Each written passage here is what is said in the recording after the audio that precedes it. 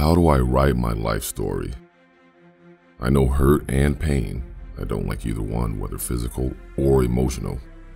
Herein contains my story, Not Without Scars Part 2 Optimism, Perseverance, Persistence, Resilience.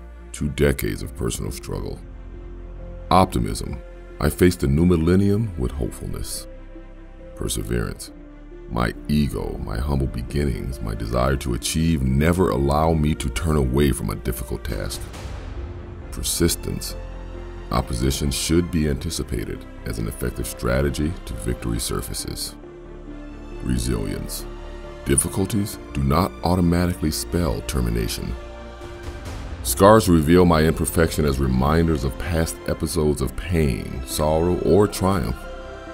Scars can tell beautiful story endings or relay misery that wishes to remain anonymous. This work is meant to help others who have experienced decades of struggle. When struggles appear to never end, you must get through the night and face the challenge of a new dawn with fresh hope.